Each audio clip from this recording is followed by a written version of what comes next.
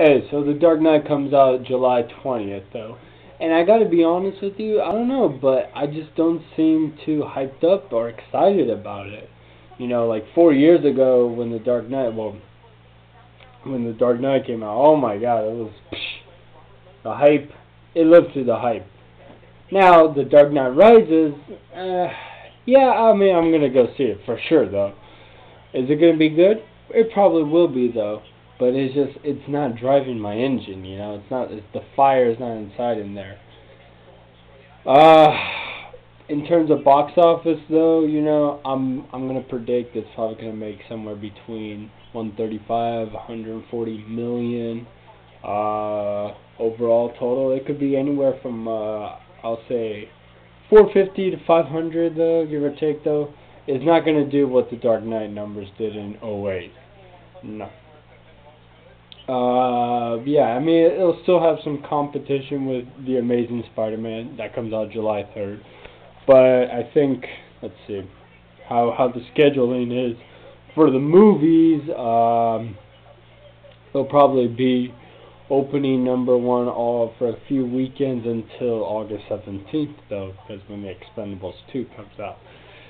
And yeah, that's my my anticipation for that. It's numero uno on that one. But uh, Dark Knight, I mean, okay, Catwoman, you know, and Hathaway, Bane, with uh, damn it, I forgot that guy, Tom Hardy. Yeah, British guy, Tom Hardy. Yeah, I'm. Hey, I'm gonna see how they do. You know, I I hope it's good. You know, again, it's not really the drive is not there for me to anticipate. It's like, oh my god, I want to see.